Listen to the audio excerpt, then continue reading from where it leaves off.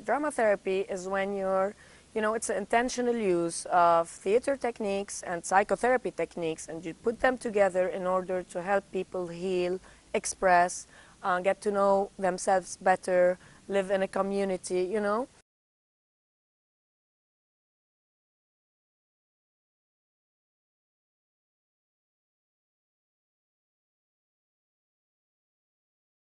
The prison project we did, I guess, like it got a lot of, you know, attention because it was a pioneer project in the Middle East, like in the, Arab countries especially, because never had theater entered prisons before that or any drama therapeutic activity went there.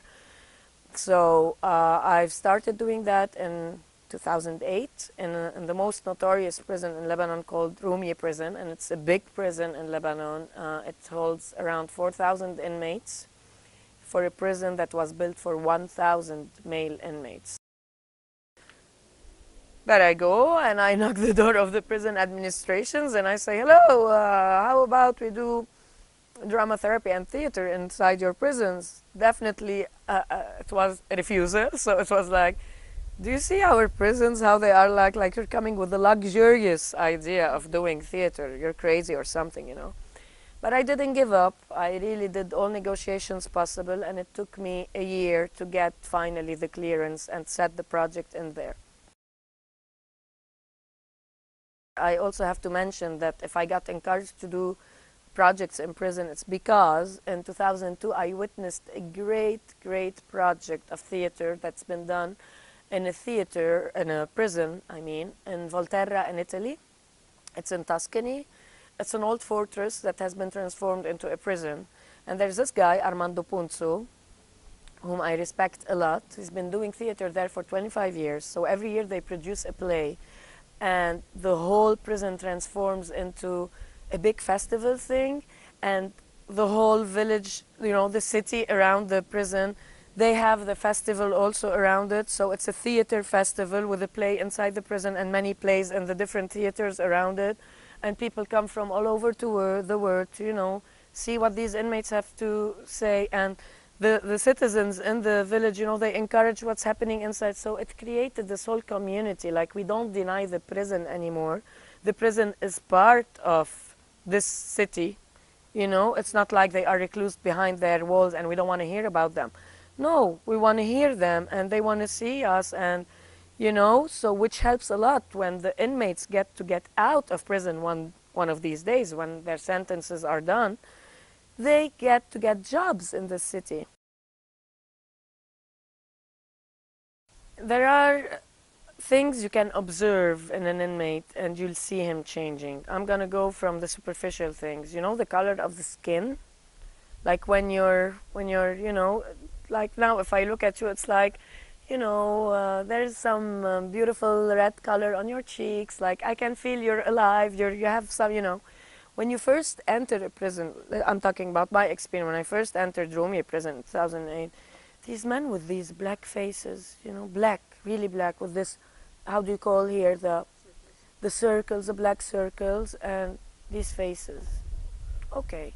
You know, after two months of the intervention, you'd start seeing some cheeks, you know, happening. Okay, then there is a light in the eyes, and you could tell that they are more alive. And then the, the way they were expressing whoa, now they are listening to each other and they can find the words to what they feel because before you tell an inmate, how do you feel?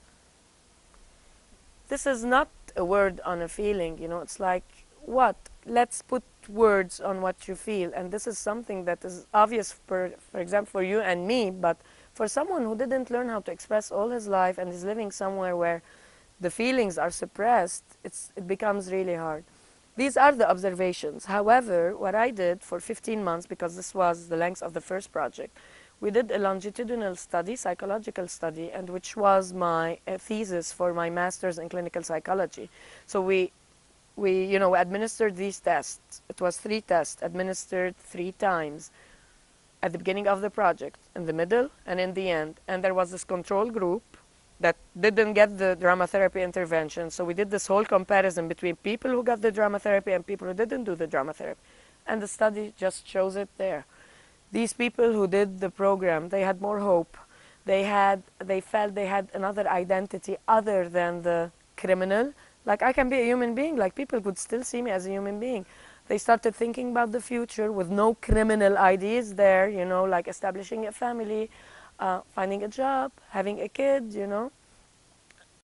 They slept much better than the control group. They didn't get insomnia at night. They were eating better and they felt support from the group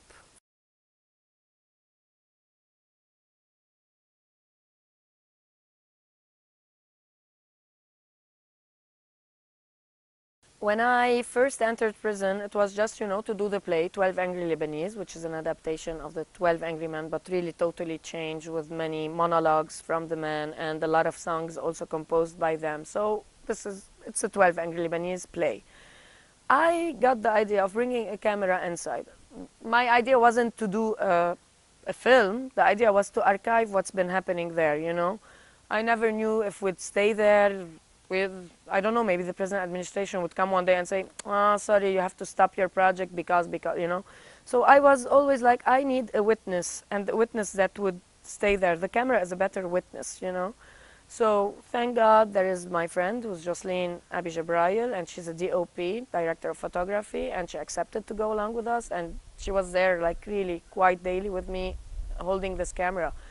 But really there was no film at that time. When the project finished we said, okay, let's watch what we have. And we were watching, we said, whoa, there is a film material in there. And this is when we decided that we're going to do the film. Why a film? I mean, a, a, a play, you'll get to watch it in the present moment, you know, it's great. And then you'll go out from prison and you'll definitely go tell your circle of friends, your family, and ah, I've seen these inmates and you know, they have the la la la. However, a film can travel much further than just the word of the pe persons who came and watched it. For example, 12 Angry Lebanese, and uh, really thank God, I mean, it was unexpected, but when the film finished, first of all, I sent it to the first festival, it was Dubai International Film Festival, and it won the first prize, which made it travel in 67 countries. Since 2010 until now, the, the film is still traveling. It has won eight awards every single Lebanese, like people interested in documentaries, have seen it. So, which means now the word is spread much more. People get to know the prisoners, whether they they got into the prison or not. Like to watch the play, you can be seated in your house and see these people, and they are alive, and these are live interviews with them. You know. Why prisoners?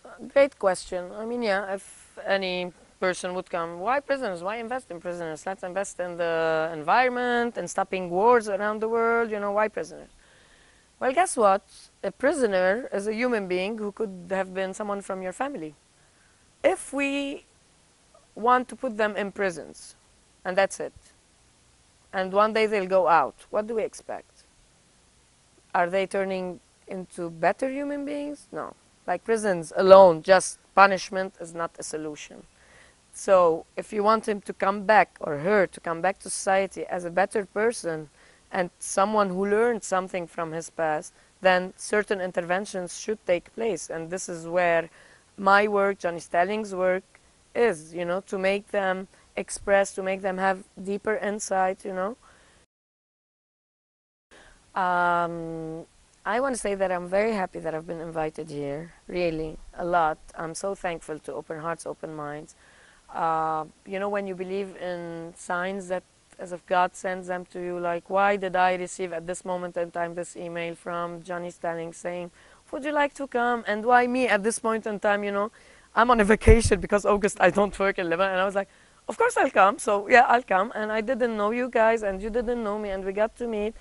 And it's so great to connect, really so great. And I hope it's just the beginning for a longer path with each other's. Hope to see you all in Lebanon to visit our own prisons this time and show your work and talk with our inmates. Thank you loads.